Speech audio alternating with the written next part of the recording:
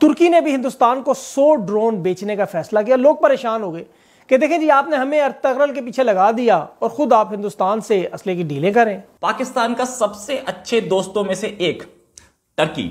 China के पास सबसे अच्छी दोस्ती इसकी टर्की से ही है। टर्की जो है वो इंडिया को करेगा करीब सौ ड्रोन एक्सपोर्ट करेगा। क्या ये जो टर्किश ड्रोन्स हैं ये पाकिस्तान के बॉर्डर पे इस्तेमाल किए जाएँगे? ये लाइन ऑफ़ कंट्रोल पे इस्तेमाल होंगे। तो एक इस्लामिक ब्रदरली इस्लामिक मुल्क है और वो इंडिया को वेपन देगा ड्रोन देगा, जो हमारी सरहद पे चलेंगे। और कल को ये पाकिस्तान को टारगेट भी कर सकते हैं। तुर्की ने भी हिंदुस्तान को 100 ड्रोन बेचने का फैसला किया। लोग परेशान हो गए कि देखें जी, आपने हमें अर्तगरल के पीछे लगा दिया और खुद आप हिंदुस्तान से असले की डीलें करें। तुर्की के मामला पर भी देखिए, इसी तरह सोशल मीडिया पर लगे हुए हैं कि तुर्की हिंदुस्तान के साथ जो है, वो अभी सौ ड्रोन तैयारों की डील कर रहा है। एक तरफ़ हमें तुर्की ने अर्तगरल की तरफ़ लगा दिया है ड्रामे दिखा रहे हैं जी, मज़हब हमारा ऐसा है, दूसरी तरफ़ खुद हमारे पड़ोस में जाके हथियार बेच रहे ये दोहरा में यार पाकिस्तान का सबसे अच्छे दोस्तों में से एक, टर्की। चाइना के पास सबसे अच्छी दोस्ती इसकी टर्की से ही है। टर्की जो है, वो इंडिया को करेगा, करीब सौ ड्रोन्स एक्सपोर्ट करेगा। ये अटैक ड्रोन हैं मिलिट्री के ड्रोन हैं सर्वेलेंस के काम आते हैं। और ये ड्रोन इंडिया को देना इसी इसी महीने में। अब तो दिन कितने बचे? दस दिन। दस दिन में पहले ड्रोन आ जाएगा और पूरे 2022 में ये सौ ड्रोन आएँगे। ये एक बहुत बड़ी खबर है। द रीजन बींग कि एक कंट्री जो कि कश्मीर कश्मीर चीख रहा था अभी कुछ टाइम पहले तक वो इंडिया को ड्रोन एक्सपोर्ट कर रहा है। इसका मतलब अब वो कश्मीर पे कभी स्टैंड नहीं लेगा। बहुत क्लियर वर्ड्स पाकिस्तान के फेवर में नहीं बोलेगा। अब उसको डॉलर ज़्यादा पसंद है। उसकी इकोनॉमी पहले ही टूटी हुई है और यहाँ से हम ड्रोन लेंगे। तो डॉलर तो देंगे ना। तो डॉलर मिलेंगे, टूटी हुई इकोनॉमी को, उसके लिए तो बहुत बड़े फ़ायदे की बात है। वो पहले अपने आप को देखे या पाकिस्तान के कश्मीर को देखे? एक बड़ी डेवलपमेंट है। अब इंडिया जो है, ये ड्रोन ले रहा है। और ये जो ड्रोन्स हैं ऑब्वियसली इंडिया के लिए इंपॉर्टेंट हैं। अच्छा मज़े की बात ये है कि थर्टी फाइव परसेंट जो कंपनी के जो टोटल ड्रोन है या जो शेयर हैं, वो बेसिकली एक इंडिया बेस्ड कंपनी है डीसीएम श्री राम इंडस्ट्रीज़ उन्होंने ले ली हैं, और तकरीबन 3.5 मिलियन डॉलर के। और ये जो कहा जाता है कि ये जो यूएवी है अनमैंड एरियल व्हीकल जो है, ये एक एडवांस टेक्नोलॉजी है। और ये इसकी, अब अब इसकी जो पुलिट एक है, इसकी मिलिट्री डायमेंशन यानी कि वो डायमेंशन जिसमें आप चेक करते हैं कि भाई टेक्निकली चीज़ किस तरह की है।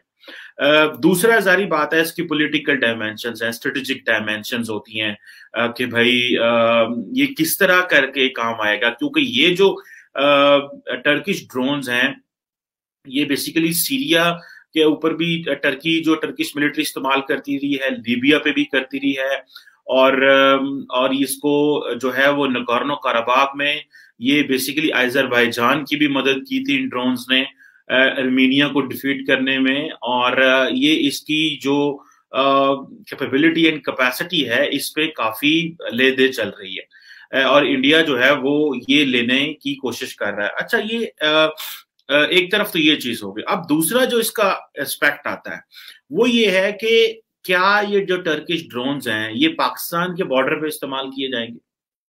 ये लाइन ऑफ़ कंट्रोल पे इस्तेमाल होंगे इंटरनेशनल बॉर्डर पे होंगे वर्किंग बाउंड्री पे होंगे लाइन ऑफ़ एक्चुअल कंट्रोल पे इस्तेमाल होंगे, ये कहाँ इस्तेमाल होंगे? ये है एक सवाल। और क्या, एक बात मैं बता दू दोस्तों, अमूमन भारत जहाँ से भी मिलिट्री हार्डवेयर खरीदता है जहाँ से भी मिलिट्री हार्डवेयर खरीदता है। भारत उन ममालिक को कहता है कि भाई, आपने पाकिस्तान को नहीं देनी वेपन्स नहीं देने। ठीक है? अच्छा अमूमन पाकिस्तान, वैसे तो अगर आप माजी में चले जाए तो आपको पता चलेगा कि भारत दुनिया का नंबर वन आर्म्स इंपोर्टर है। ठीक है? तकरीबन एक दस एक साल। और ये जो पिछले दस साल गुजरे हैं, वो तकरीबन सौ अरब डॉलर की इन्होंने मिलिट्री प्रोक्योरमेंट की टॉप लेवल का जो है वो असला खरीदता रहा है। अभी भारत आहिस्ता आहिस्ता वो उसको नंबर दो पे आया है और मेरा ख्याल है कि वो ज़्यादा इंडिजनाइजेशन की बात कर रहे हैं, बल्कि मैं सुन रहा था कि जो राजनाथ सिंह साहब हैं इंडिया के डिफेंस मिनिस्टर वो ये कह रहे थे कि हमें आइंदा आने वाले दिनों में हमने अमेरिका को, फ्रांस को जो है वो और रशिया को बाकी जो ममालिक हैं, उन सबको बता दिया है कि हम जो भी ड्रोन्स लेंगे जो भी सॉरी मिलिट्री हार्डवेयर लेंगे, हम वो चाहते हैं कि आप वो वो इंडिया के अंदर बनाए। ये बेसिकली इंडिया एक, अपनी जो है, इस चीज़ का फ़ायदा उठाना चाह रहा है कि वो कह रहा है कि अगर मैं आप लोगों से चीज़ें बनवाऊँगा, आप लोगों से जो कारोबार करूँगा तो मैं इस तरह नहीं करूँगा कि आप जो है वो अपनी मर्ज़ी करते रहें और हम वहाँ पे चीज़ें बनाएँ। वो कह रहे हैं आपको जो मेक इन इंडिया का जो कॉन्सेप्ट है ना, वो कह रहे हैं उसके ऊपर आए आप। अब ये जो चीज़ है बेसिकली ये ऑब्वियसली इंडियन इकोनॉमी के लिए एक इंपॉर्टेंट चीज़ इसमें ऑब्वियसली है कि इंडियन इकोनॉमी से उसको बूस्ट मिलेगा और इंडियन इकोनॉमी के पास एक जॉब्स दी जाएँगी या मेक इन इंडिया का जो कॉन्सेप्ट है उसके ऊपर वो आएँगे। अच्छा इसमें हमने जो जो मैं पॉलिटिकल नेचर का सवाल कर रहा था कि क्या इंडिया जो है, वो अगर ये ड्रोन्स लेता है तो वो पाकिस्तान के ऊपर इस्तेमाल कर सकता है? पाकिस्तान की सरहद के ऊपर line of actual control line of control के ऊपर या पाकिस्तान इंडिया बॉर्डर के ऊपर? ज़ाहिर बात है, ये उनका ड्रोन है, वो जहाँ मर्ज़ी इस्तेमाल करें। और मेरा नहीं ख्याल कि एक नई छोटी सी कंपनी जो आई है, कल उठी है, वो कल को ये कह सकती है, जो जायरोन डायनेमिक्स इंडिया को कह सकती है कि नहीं जी, आपने पाकिस्तान पे इस्तेमाल नहीं करना। सो ये होती है, दोस्तों सॉवरन जो ममालिक होते हैं, वो अपनी मर्ज़ी करते हैं।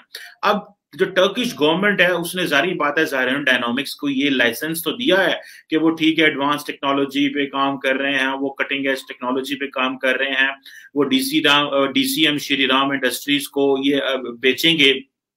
लेकिन दैट डज नॉट मीन कि टर्किश गवर्नमेंट जो है वो ये कहेगी कि जी आप पाकिस्तान के खिलाफ नहीं इस्तेमाल करेंगे। तो जारी बात है पाकिस्तान के खिलाफ ये ड्रोन इस्तेमाल होगा। सो so, ये जब इंटरनेशनल पॉलिटिक्स में आप आते हैं तो देन इसकी डायनामिक्स अलहदा हो जाती है। अच्छा अगर इंडिया का इंडिया टर्की रिलेशनशिप को देखा जाए तो सारा मीडिया और सारी इंटरनेशनल कम्युनिटी और कहती है और खास तौर पे जो टर्की की जो स्टैंड था कश्मीर के ऊपर कश्मीर डिस्प्यूट के ऊपर और वो खासकर पे यूएन के मुकाम पे लेके यूएन में जाके या वैसे पाकिस्तान के हवाले से टर्की ने हमेशा पा, इंडिया पाकिस्तान को सपोर्ट किया है कश्मीर के इशू के ऊपर। अच्छा टर्की और ईरान की दोनों, हालाँकि ईरान के साथ हमारे ताल्लुकात को इतने अच्छे नहीं है, लेकिन when it comes to the issue of Kashmir तो ईरानियंस जो हैं, खासकर जो आयतुल्ला खामनाई हैं, वो एक कंसिस्टेंट पॉलिसी लेते हैं कि वो फलस्तीन और कश्मीर को साथ रखते हैं, लेकिन कश्मीर का वो ज़रूर ज़िक्र करते हैं। लेकिन अब जो तैयब उर्दगान है ये इंडिया, नरेंद्र मोदी के साथ कहा जाता है कि इनका कोई इतना अच्छा ताल्लुक नहीं है। This is what is happening over the period of time Turks जो है वो थोड़ी टफ लाइन लेते हैं इंडिया के ऊपर और इंडियंस भी परवाह नहीं करते और खास करके कश्मीर के ऊपर। और और तो अर्दुगान ने कई दफ़ा कहा है कि इंडिया वो मुल्क है जहाँ पे मैसेकर्स होते हैं, मुसलमानों के हिंदू करते हैं और इस तरह की चीज़ें जो है उन्होंने की हैं।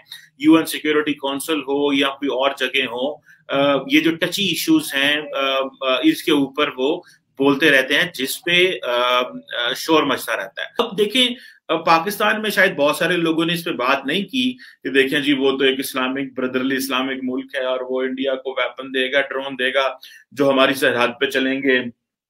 और कल को ये पाकिस्तान को टारगेट भी कर सकते हैं।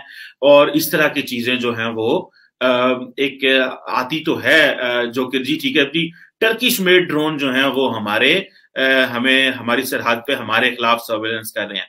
देखिए, पहली बात तो यह है कि ऑब्वियसली पाकिस्तान और टर्की का इस तरह का कोई डिफेंस फैक्ट नहीं है। कि हमने इंडिया के खिलाफ ये चीज़ करनी है। ये तो ओपन मार्केट में गए, एक चीज़ मिली, आपने वहाँ से प्रोक्योर कर ली, आपने पैसे रखे और आपने वो चीज़ ले ली। अब ये जो चीज़ है, इसको मेरा ख्याल है कि पाकिस्तान नहीं